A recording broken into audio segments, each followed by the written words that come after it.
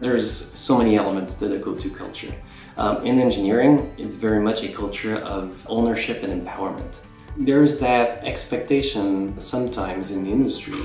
You start as a software developer and then, okay, you get to write code, but you don't do architecture. And then when you become an architect, you only do architecture.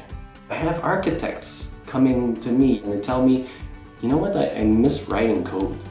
And I, I still want to do architecture, but I, I want to do everything. I tell people, we love architects, but if you come here, you'll have to write code as well. and, and people see that very positively.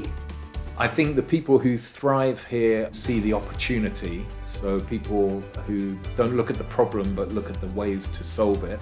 We have regularly held hackathons and several new products have been born out of hackathons. We had a, an all Hungarian team which looked at the remote support group. They looked at how we could implement a technology driven solution to prevent spammers from abusing our products. And they built that in three days to a stage where we can integrate it into GoToResolve.